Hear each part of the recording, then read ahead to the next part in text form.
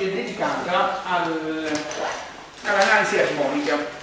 Non, non c'è nessun velleità di eh, ovviamente ripercorrere ciò che forse qualcuno di voi ha già spiegato in corsi precedenti, per esempio analisi 1, 2, 3, qualcosa, forse si, si fa, penso si faccia un esempio. Quanti di voi eh, sanno di che cosa si tratta? Quando uno dice analisi armonica, oppure contenuto armonico, oppure mh, eh, integrale di Fourier, eh, queste cose qui. Quanti di voi hanno mai avuto percezione di queste parole, di queste frasi? Nessuno? Qualcuno sì? sì, sì. No, perfetto. E perché noi ci facciamo una ripassata di questi argomenti? Perché ehm, eh, ricorrono molto, molto spesso ehm, eh, ricorre molto spesso lo studio e problemi eh, relativi al contenuto armonico di eh, molti segnali, al, molti segnali che sono rappresentativi di grandezze elettriche e magnetiche all'interno delle macchine elettriche e dei dispositivi elettromeccanici.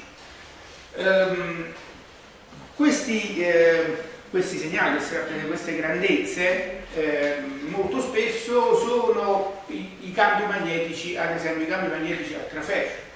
I campi magnetici a traferro noi, come vedremo fra alcune lezioni, li immaginiamo essere molto semplici, eh, avere una distribuzione per esempio sinusoidale lungo il traferro, quindi ad esempio immaginiamo che il campo a traferro di una, di una macchina elettrica sia del tipo uguale B massimo per per esempio un seno eh, dell'anomalia quindi dell'angolo eh, geometrico eh, seno di θ lungo la periferia della macchina, lungo il traferro della macchina. Quindi se questa è la macchina elettrica, e questo qui è il traferro, qui abbiamo uno eh,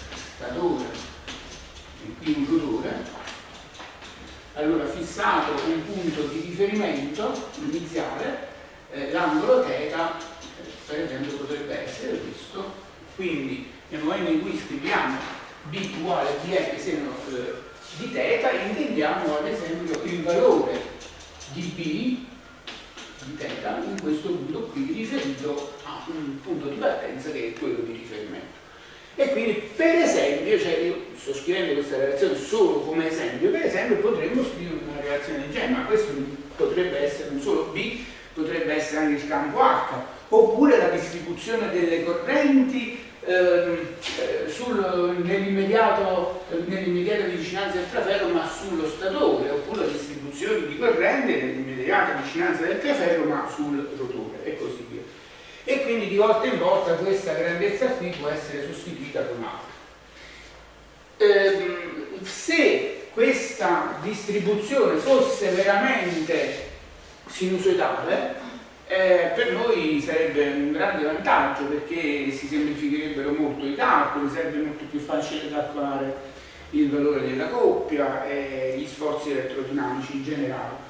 Eh, però sia B che il campo H che altre grandezze come anche la corrente I, per esempio la distribuzione di corrente I, non sono per nulla sinusoidali. Quindi lungo lo spazio, lungo lo spazio elettrico della macchina, quindi lungo il traferro, noi possiamo avere delle distribuzioni che potrebbero essere anche ad esempio ehm, di, tipo, di questo tipo qui per esempio quindi questo è un diagramma eh, in funzione dell'angolo θ e questo qui per esempio potrebbe essere il campo h di θ il campo h di θ in funzione appunto dell'angolo θ, quindi la distribuzione eh, del campo H lungo il traferro potrebbe avere una forma del genere. Eh, potrebbe avere anche forme diversissime.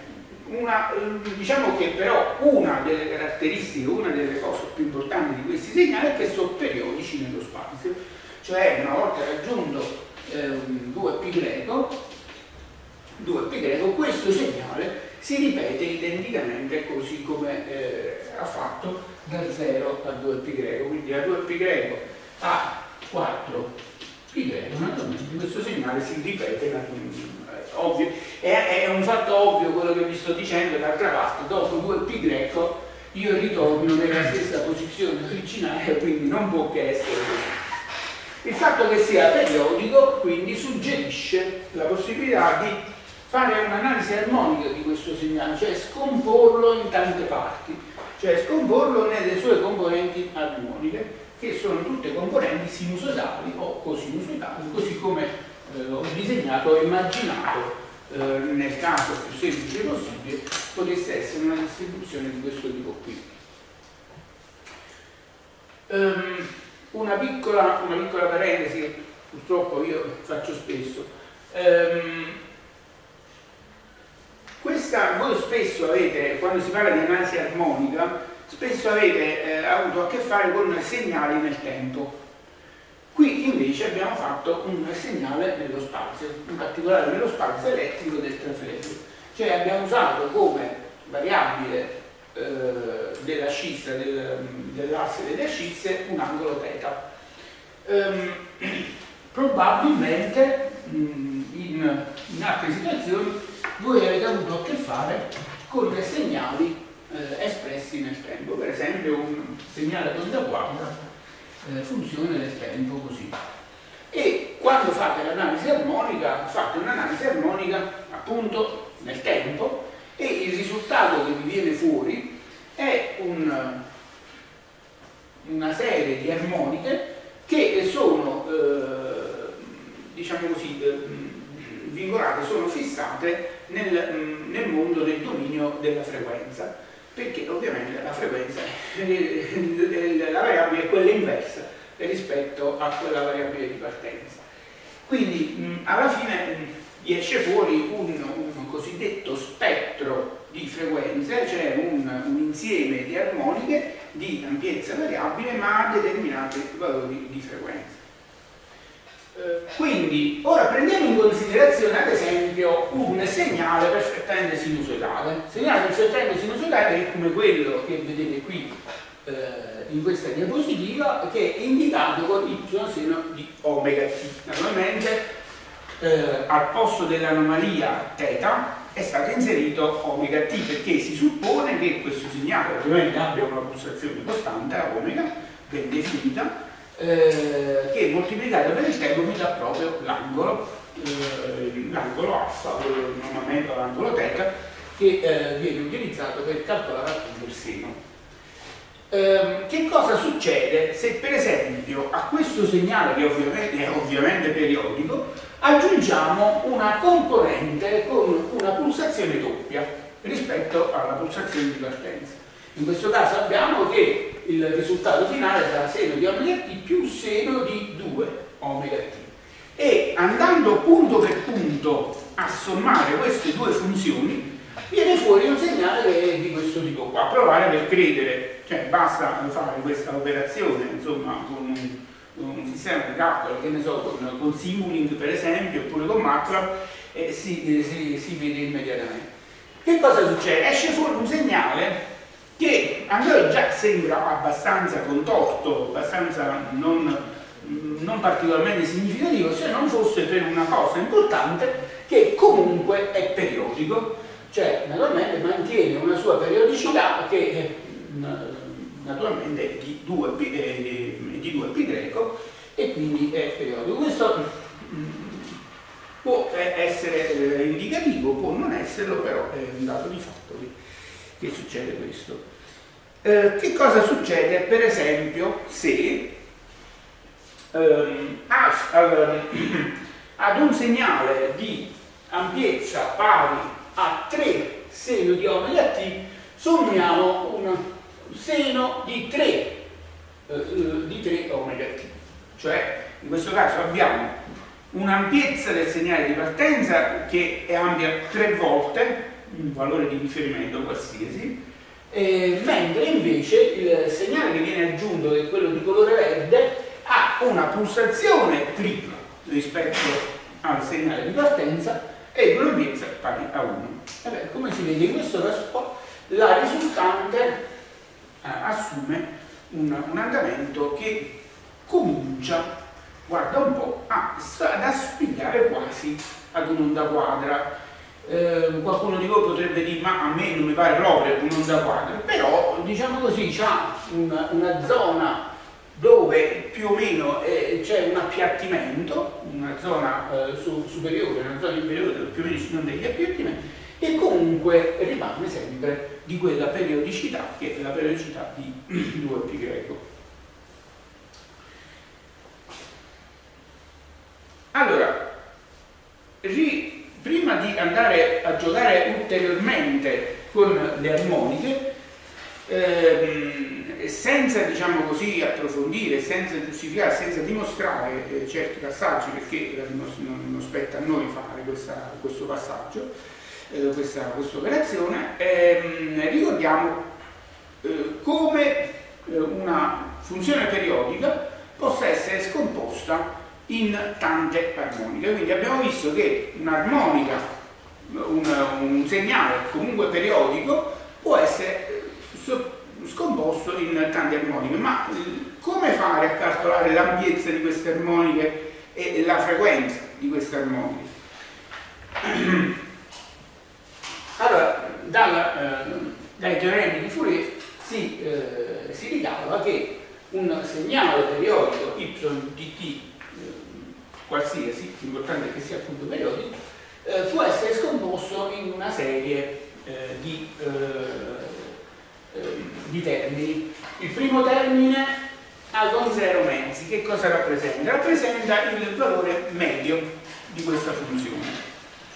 Nei, nei casi precedenti, nei casi che avevamo considerato prima, per esempio questo, il valore medio è evidentemente nullo, perché la funzione è tanto positiva quanto negativa, ossia l'area eh, calcolata e sottesa dalla eh, semionda positiva è uguale a quella eh, negativa, quindi il valore medio di questa funzione è evidentemente nullo. D'altra parte eh, la somma dei valori medi delle singole armoniche è naturalmente nullo, che sono tutte sinusoide, quindi è evidente anche questo fatto qui.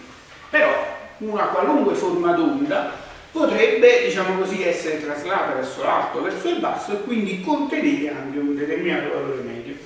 Quindi il primo termine è dato da A mezzi. Gli altri termini invece eh, sono naturalmente periodici eh, con il fattore K, quindi può essere un'armonica di ordine 2, eh, secondo, terza, quarta, quinta, eccetera, eccetera.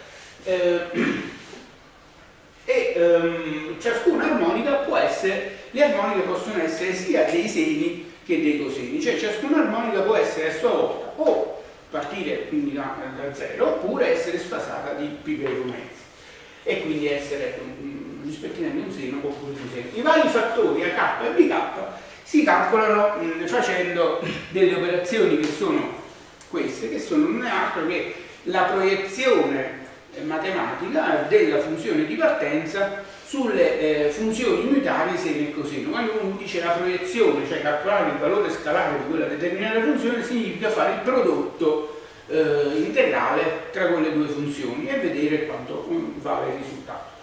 Quindi fare l'integrale da meno t mezzi a più t mezzi della funzione di partenza eh, per la funzione unitaria, che è il coseno ehm, che il coseno periodico di quella, che, che, è appunto il coseno con frequenza che è multipla eh, di k, quindi mh, coseno di omega t per, oppure coseno di 2 omega t oppure coseno di 3 omega t, ogni volta che si fa questa operazione si può determinare alla fine il, eh, il, il fattore eh, per, il quale andare a moltiplicare quella singola armonica eh, individuare tutti i fattori AK e BK. Quindi, ora che sappiamo, diciamo che abbiamo ricordato qual, qual è la tecnica per andare a calcolare i vari termini, AK e BK, vediamo per esempio di andare a calcolare le armoniche di una funzione ad onda quadra, come questa qui. Allora, eh, facendo le, le, operazioni che abbiamo fatto precedentemente, troviamo subito, ma questo non c'è bisogno nemmeno di fare un calcolo, lo si vede subito, che ehm, il valore medio di questa funzione è nullo. Quindi il primo numero, la con 0 mezzi, è uguale, eh, è assolutamente uguale a 0.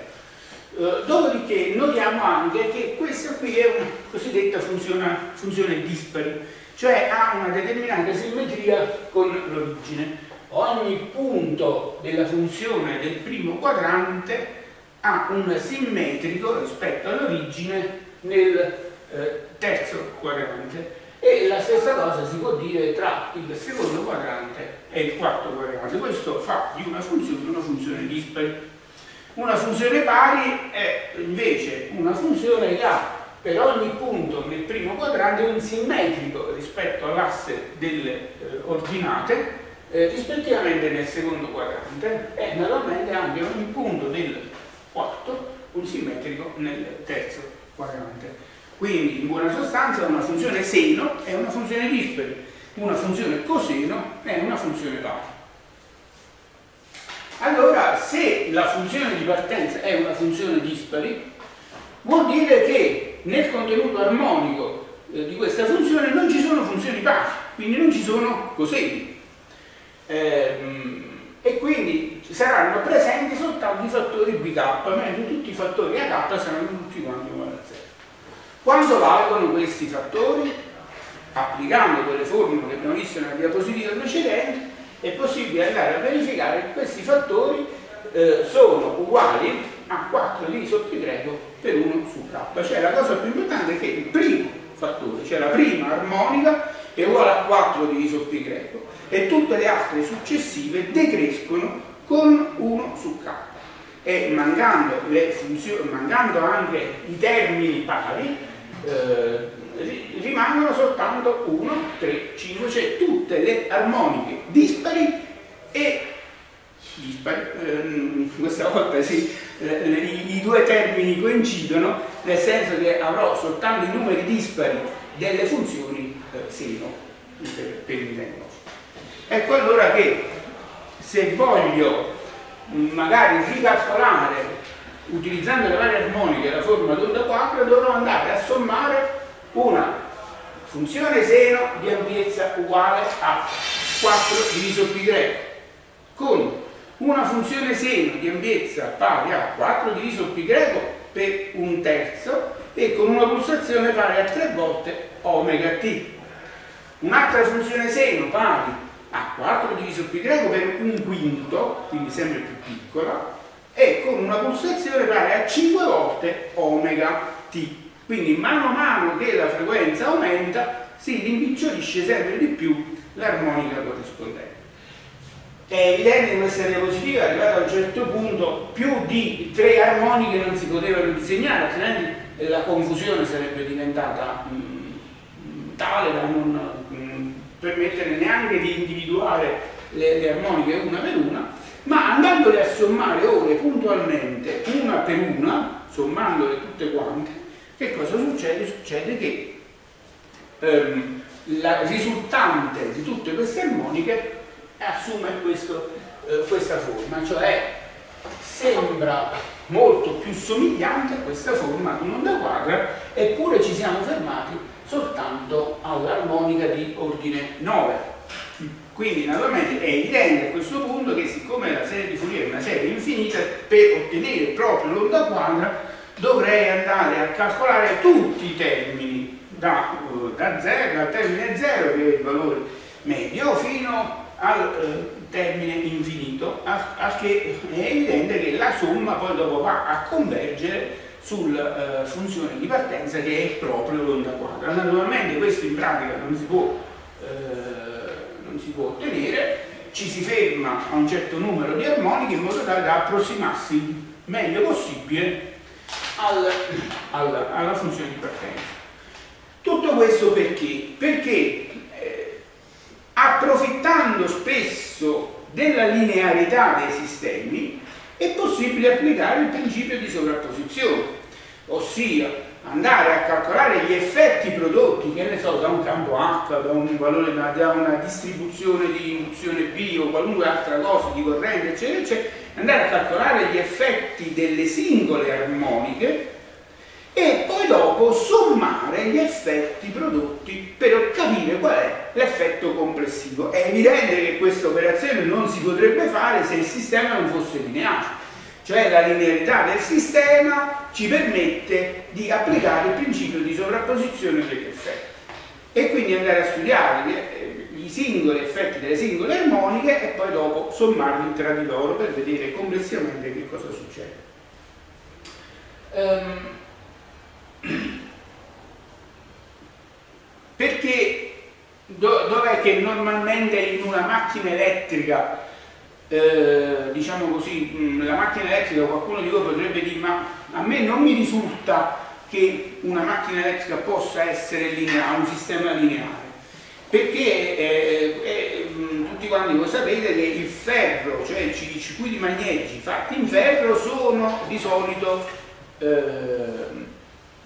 eh, affetti da un problema di saturazione, anzi noi potremmo anche progettare dei circuiti magnetici privi di saturazione, per esempio riducendo i valori di campo eh, o i, i valori di induzione, quindi mantenendoci lontani dagli effetti di saturazione. Però questo che cosa comporterebbe? Comporterebbe comunque di avere una macchina elettrica abbastanza grande perché per ottenere questo fatto dovremmo aumentare la sezione e la lunghezza dei circuiti magnetici e questo non è economicamente vantaggioso.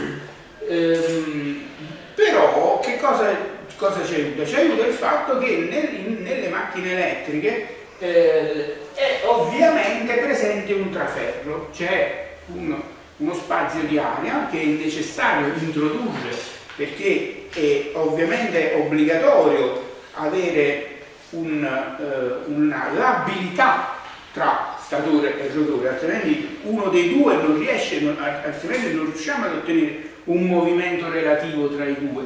E quindi la presenza di aria ci aiuta ad avere un circuito magnetico complessivo generale della macchina elettrica che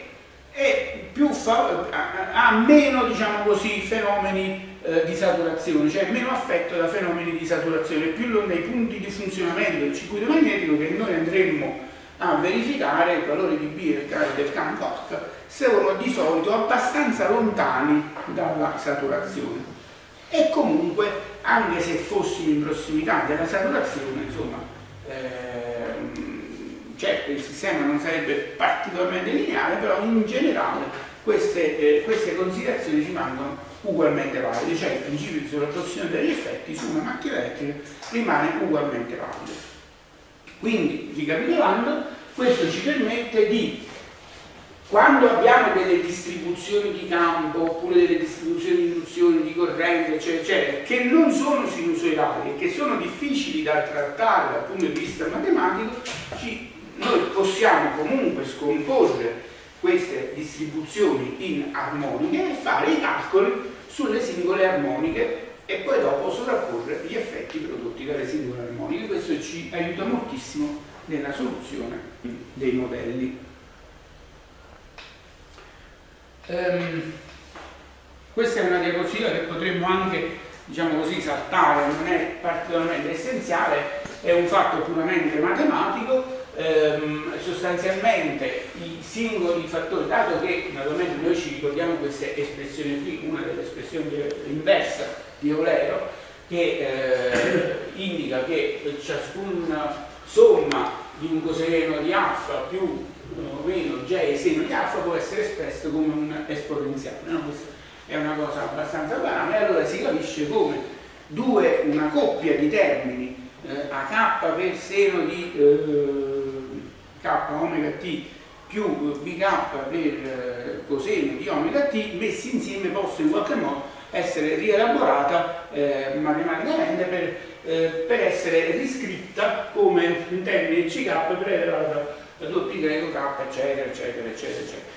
Ehm, questo naturalmente permette di scrivere questa relazione eh, questa relazione qui eh, in un modo più compatto utilizzando gli esponenziali compressi eh, però insomma sostanzialmente noi di solito ci limitiamo ad usare questa che è molto più comoda anche perché avendo a che fare sempre o con funzioni dispari o con funzioni pari uno di questi due termini è nullo, quindi eh, ci aiuta comunque eh, utilizzare questa cosa qui. Oh, queste sono le formule che vengono utilizzate per eh, calcolare i termini C, eh, K rispetto a, ad AK e BK e con questo abbiamo terminato questa lezione sul, eh, sull'analisi armonica. Ehm, allora, quindi se un segnale periodico viene scomposto in armoniche, ad esempio facciamo finta di avere un segnale periodico che è una cosa del genere, quindi sappiamo che questo segnale armonico, così come l'ho disegnato, più o meno nel tempo t, questo è un S eh, eh di omega t, una S di omega t, sono presenti due armoniche c'è una fondamentale, queste armoniche vengono rappresentate nel dominio della frequenza oppure nel dominio della pulsazione, se preferite. Qui ci sono due segnali, naturalmente uno avrà una pulsazione omega con 1 e l'altro avrà una pulsazione omega con 2 che probabilmente è tre volte maggiore a omega con 2, circa uguale, tre volte a omega con 1. Quindi una rappresentazione tipica dello spettro delle frequenze e ordinare su un, un asse, eh, che è quello delle frequenze, delle, eh, delle, mh, degli indicatori che sono proporzionali rispettivamente all'ampiezza A con 1 e all'ampiezza, se qui fosse un più grande, A con 2, A con 3 questa è la omega con 3 perdonatemi, questa è la, è la terza armonica. L'armonica relativa a A con 2 è nulla, così come nulla A con 4, e così via. Quindi questo è un metodo per rappresentare. Questo, questo eh, diagramma prende il nome proprio appunto di spettro armonico della forma d'onda periodica. Così ehm, abbiamo visto che eh, è possibile realizzare un campo rotante mediante tre avvolgimenti disposti nello spazio a 120 gradi. Perdonatemi se questa frase ricorre così tanto spesso, ma mm, è la base di tutto fondamentalmente. Eh, noi abbiamo schematizzato questi avvolgimenti con dei disegnini, cioè abbiamo fatto il disegno di una spirale qui, un'altra qui, un'altra qui, un'altra qui, quindi sostanzialmente non ci siamo preoccupati poi dal punto di vista pratico come questi avvolgimenti vengono realizzati sulla periferia del trafegio, cioè sulla periferia di macchina di statore e sulla periferia di macchina di rotore, quindi affacciati al trafegio. Eh? Allora concentriamo la nostra attenzione soltanto su uno di questi avvolgimenti. Noi sappiamo che ne dobbiamo fare tre, però per come cominciamo a farne, a vederne uno per uno.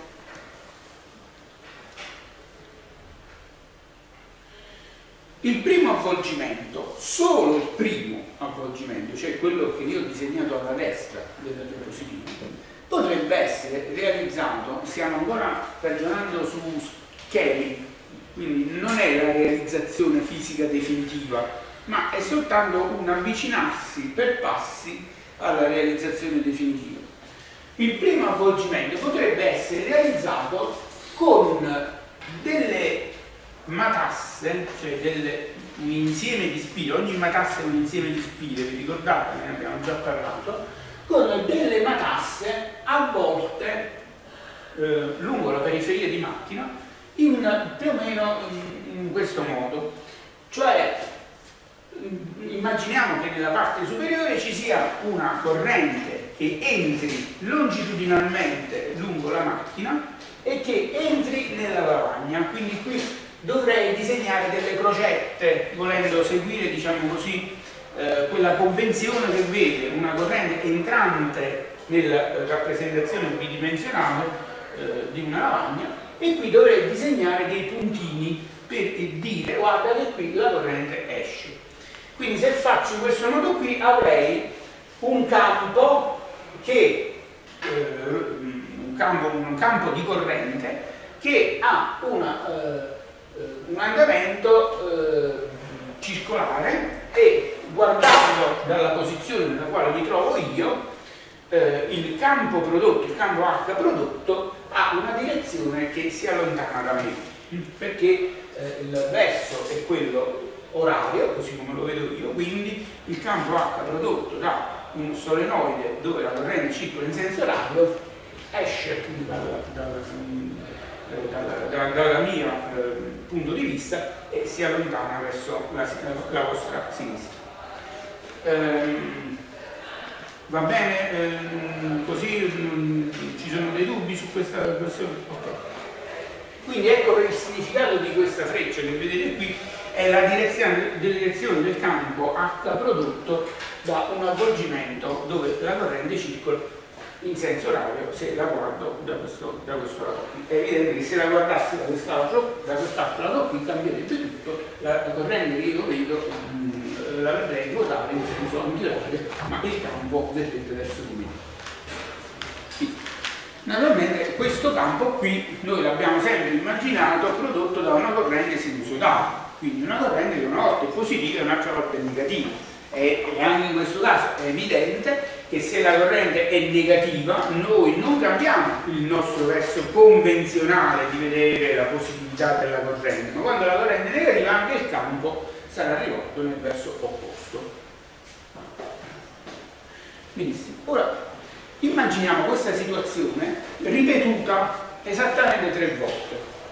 Ora è evidente che se eh, vogliamo ripetere la stessa cosa per un altro avvolgimento ma disposto a 120 gradi rispetto al primo allora dovremmo disegnare altri magari 3 4, 5, quelli che volete altri 3 puntini eh, qui e altre 3 crocette qui di colore verde.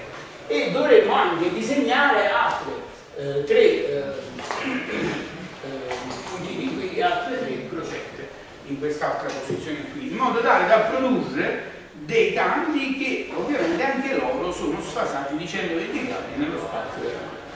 Quindi quel, quei tre simboli che avevamo disegnato all'inizio, cioè questi tre simboli disegnati semplicemente con delle, eh, delle spirali, ora sono diventati, sono diciamo così, allargati, hanno preso lo spazio della macchina, hanno trovato una collocazione fisica eh, più, ehm, più, più, definita che questa, ma la sostanza delle cose non è assolutamente cambiata, cioè non dovete immaginare che sto stravolgendo il significato, eh, qualche significato particolare, qualche definizione particolare, è assolutamente eh, la stessa cosa di eh, disegnarli in quel modo lì. Dal, anche in questo caso abbiamo sullo statore le stesse immagini. Guardate, non guardate quello che c'è sul rotore, c'è questo grosso, questa parte qui per il momento fate finta, cancellatela dalla vostra, eh, da, fate finta di non vederla. Sullo statore sono presenti ancora quei, quei cerchietti che stanno ad indicare le correnti che entrano e le correnti che escono. Vedete i puntini, procetti crocette, crocette, puntini, puntini, puntini. Rappresentano appunto quegli avvolgimenti di statore che sono percorsi dalla corrente sinusoidale. Ora, che ci mettiamo? Che cosa ci sarà sul rotore? Sul rotore ci deve essere per forza un altro oggetto che produce un campo magnetico che ha una determinata direzione, ehm, è un determinato verso e non solo, ma siccome il rotore è rotore, deve essere in grado di ruotare, cioè deve avere una labilità in grado di permetterne il moto eh, circolare. Quindi una delle possibilità che abbiamo è, que- ma è una delle tante, poi se qualcuno di voi ne volesse immaginare un'altra va benissimo, la cosa più importante è l'effetto finale, cioè produrre un campo un campo che ha direzione per esempio verso 8, eh, nord e sud, e ehm, come lo possiamo produrre questo campo qui? Questo campo qui lo possiamo produrre eh, utilizzando un rotore con una forma di questo tipo qui, che si chiama un rotore eh, con espansioni polari, eh, quindi un, un rotore che non è eh, circolare, non è liscio, non è eh, uniforme, ehm, eh, è un avvolgimento, quindi una corrente, una seconda, una, una quarta corrente, che ehm, circola intorno a questo rotore in modo tale da produrre una blocca appunto diretto dal basso verso l'alto. Questo oggetto qui con tutta la corrente dovete immaginarlo in grado di poter ruotare all'interno della macchina elettrica. Invece dell'avvolgimento, indovinate un po' che cosa potrei usare? Chi mi può dare una, una, uno spunto? Potrei usare dei, dei magneti permanenti. In questo caso qui, se usassi i magneti permanenti, appunto, potrei risolvere anche il, potrei risolvere anche il problema delle perdite joule che ovviamente avrei se facessi circolare in questo avvolgimento una corrente elettrica, l'avvolgimento fatto di rame ha una sua resistenza e quindi avrei anche delle perdite joule. Um,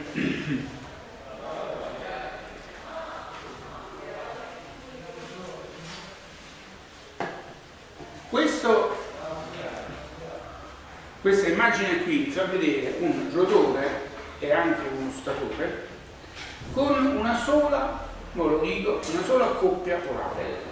Cioè, prendiamo il rotore, quando poi c'ha un nord e un sud, quindi una, siccome il nord e il sud stanno sempre insieme, non è che c'è un nord e un nord e basta, ehm, vuol dire che c'è una coppia polare. E ovviamente questo è il minimo possibile. Potrei avere anche un rotore con un nord e un sud e anche un nord e un sud, quindi due coppie polari. Lo statore anche potrebbe avere non tre avvolgimenti, potrebbe avere sei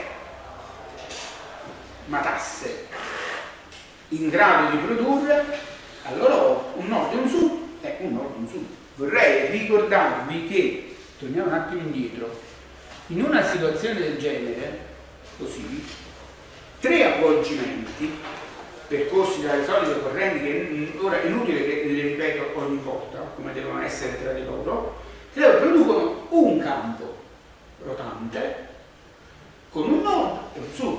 Quindi anche se sono tre avvolgimenti producono, hanno una disposizione tale da avere una doppia polare però io potrei mettere sei avvolgimenti e produrre anche in questo caso qui due coppie polari il minimo ovviamente è uno cioè va, va da sé che meno di uno non si può fare.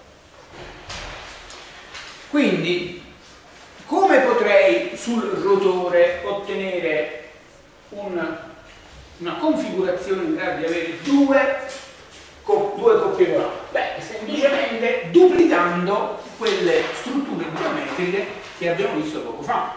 Quindi ci sono, anziché avere due espansioni polari, quattro espansioni polari e degli avvolgimenti che produrranno un nord, un sud, un nord, un sud, ottenendo in questo modo due coppie polari. La stessa cosa potrei ottenerla anziché con un rotore fatto con espansioni polari, con un rotore fatto in modo liscio o come si dice isotropo. In questo caso qui è anisotropo, in quell'altro caso lì isotropo. Cioè sono vari termini che spesso si utilizzano per indicare un rotore liscio rispetto a un motore dotato di espansioni polari. Ma la sostanza poi alla fine non cambia, cioè io qui ho degli avvolgimenti in grado di produrre due nord e due sud, anche qui ho due avvolgimenti in grado di produrre due nord e due sud.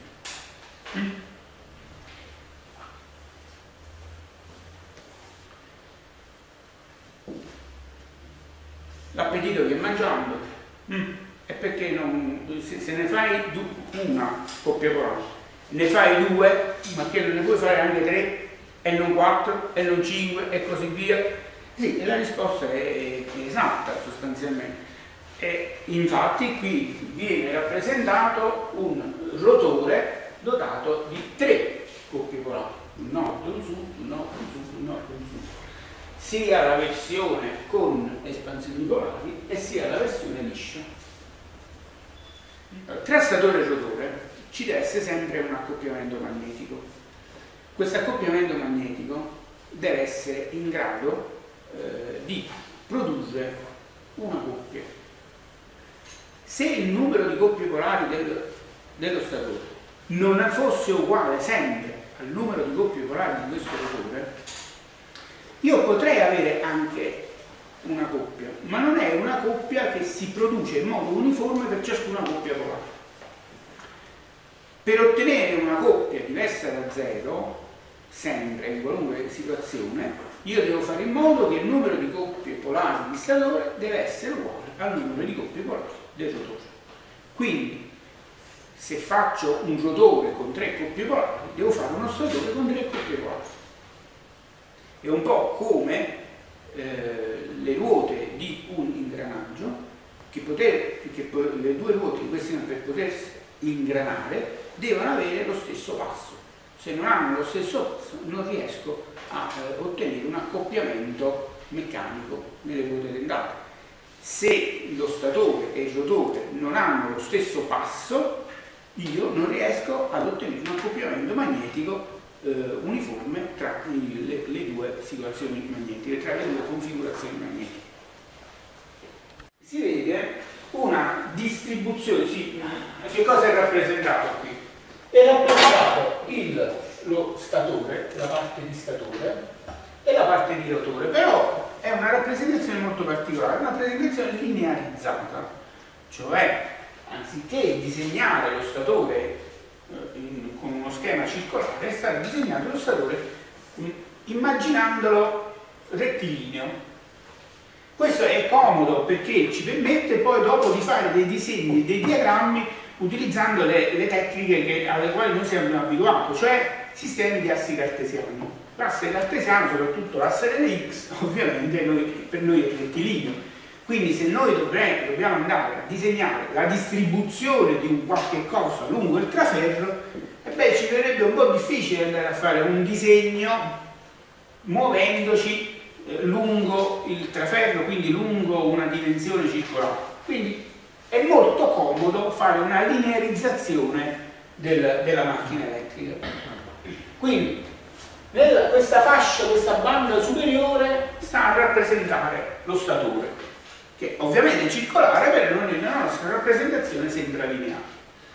Nella parte inferiore qui, questa parte qui, questa rappresenta il rotore. È un rotore con due espansioni polari. Quindi assolutamente diciamo che stiamo facendo una rappresentazione di questo oggetto qui, in buona sostanza. Solo che appunto l'abbiamo linearizzato. C'è un nord e c'è un sud. Da qui a qui eh, sono, sono passati, dire passando fa venire in mente il tempo, però diciamo eh, da qui a qui ci sono due pi greco, quindi la, la, la, simmetria della macchina si ripete. E che cosa ci stanno qui? Ci sono rappresentate anche le linee di flusso del campo prodotto dal rotore. Ancora una volta questa stessa figura che vediamo qui, dove ci sono disegnate con colore eh, viola le linee di flusso, quelle stesse linee di flusso sono restate ridisegnate qui ma ovviamente dobbiamo tener conto del fatto che la macchina è stata deformata ed è stata linearizzata.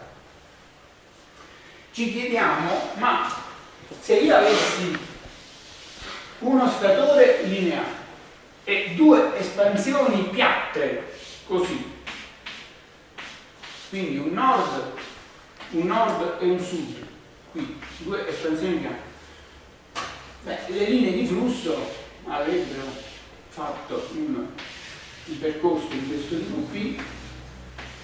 E mi sarei chiesto se lungo il trafello, cioè lungo questa linea, che è appunto teta, come poter rappresentare il, flusso, il valore, la distribuzione di flusso B.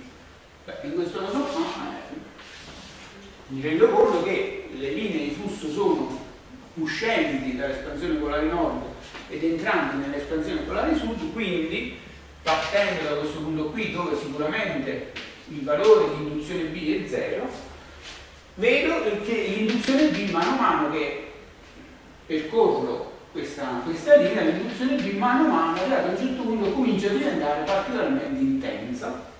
Quindi posso immaginare una cosa del genere. Dopodiché l'induzione B si attenua di nuovo, qui non c'è più niente, non ci sono linee di flusso, non c'è. Quindi l'induzione B si attenua di nuovo e poi il valore dell'induzione B riprende nel stesso modo con cui si era sviluppata sull'espansione polare nord, su quella sudma consegna opposto. E quindi diciamo, immaginiamo fosse una cosa quindi qui è l'angolo θ questo è valore dell'induzione B in funzione di θ beh certo il disegno non è più. Qui dovrei farlo un po' più. Un po' più ampio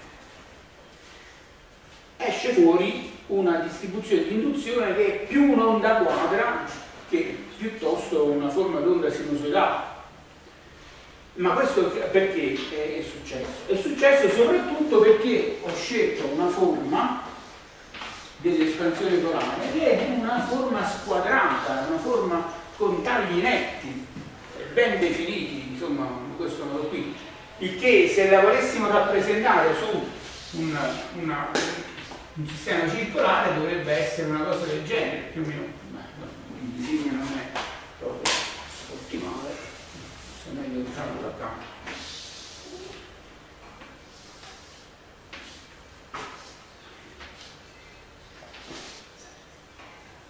Potrebbe essere una, una cosa del genere. Perdonate la qualità del disegno, però insomma. Allora, che cosa vuol dire? Vuol dire che il traferro, però che cosa volevo rappresentare? Volevo rappresentare che la, eh, la, la, lo spessore del traferro in questa, in questa, zona qui è sostanzialmente una costante, non, non cambia, così come non cambia qui, il traferro qui e qui è lo stesso, il traferro qui e qui è sempre lo stesso ovviamente il traferro in questa zona qui è, enorme, però insomma sotto l'espansione polare il traferro è, è un sostanzialmente una costante. Qual è la differenza che vediamo però in questa fotografia qua, cioè in questa, in, in questa figura? È che la scarpa polare è stata eh, modellizzata, gli è stata data una forma diversa da quella che gli ho dato io alla lavagna.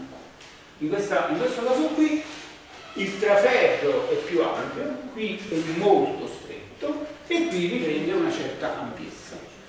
Quindi il progettista della macchina che cosa ha fatto? Non ha fatto altro che ridefinire la geometria delle espansioni polari in modo tale da condizionare la distribuzione di induzione a traferro e fare in modo che la distribuzione di induzione a traferro fosse più, diciamo, meno variabile in queste zone qui diventasse più simile a una sinusoide e quindi una distribuzione di induzione che ha diciamo, più una forma più raccordata e con un, ovviamente a questo punto possiamo dire, visto che l'abbiamo studiato, un contenuto armonico di spazio molto più basso rispetto al caso precedente.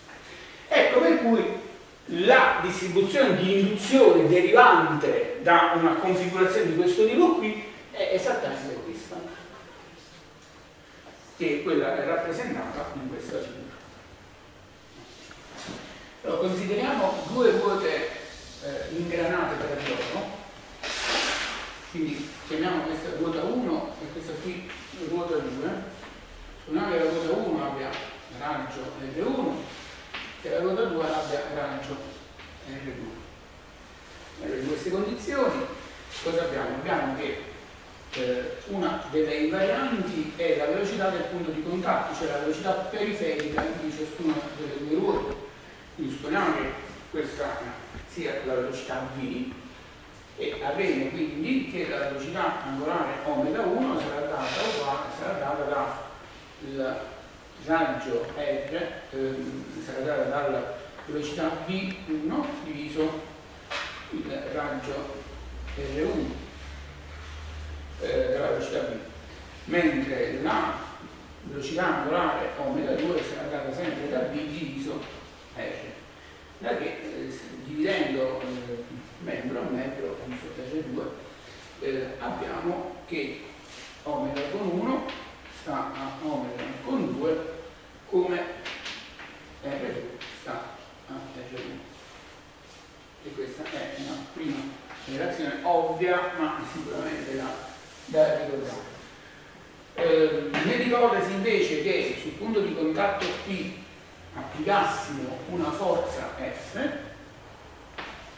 allora questa forza F eh, risulterebbe in un valore di coppia C1 sulla ruota dentata numero 1 eh, pari a F pari a F per L con 1 mentre il valore di coppia C2 sarebbe uguale al valore di F per R con 2 anche in questo caso qui dividendo meglio a meglio avremo che il rapporto tra C1 e C2 è proprio uguale. A R1 di R1 e questo è quello che già sapevamo dalla, dalla fisica.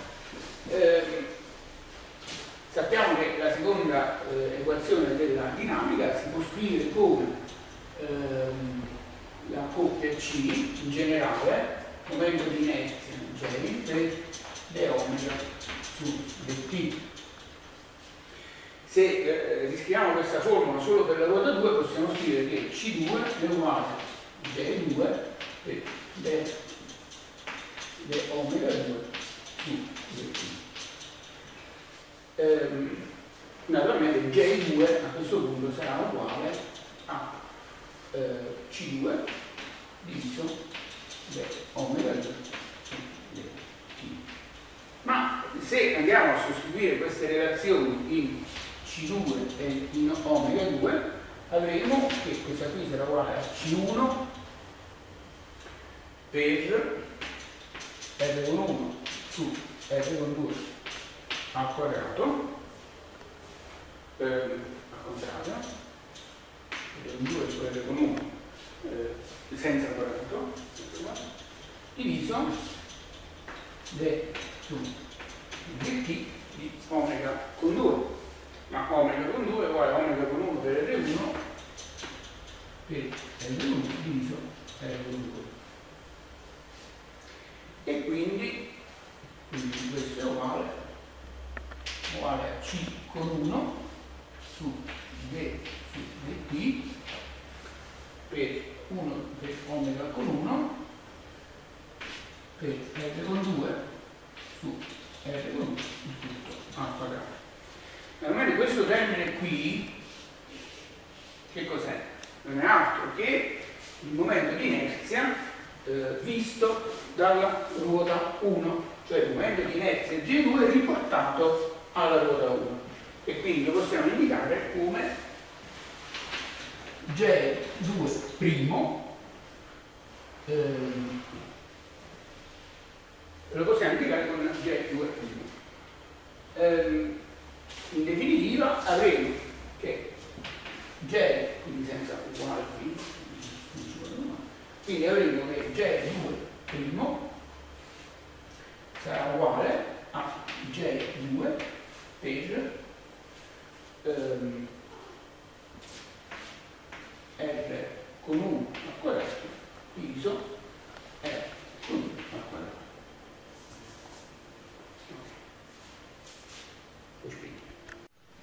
Quindi se consideriamo il momento di inerzia J con 1, il momento di inerzia complessivo visto dall'asse eh, applicato alla ruota G1 avremo J a J con 1, cioè il momento di inerzia della ruota 1, più il momento di inerzia della ruota 2 riportato alla ruota 1, cioè J 2' cioè uguale a J con 1 più J con 2 per R con 1 quadrato più R con 2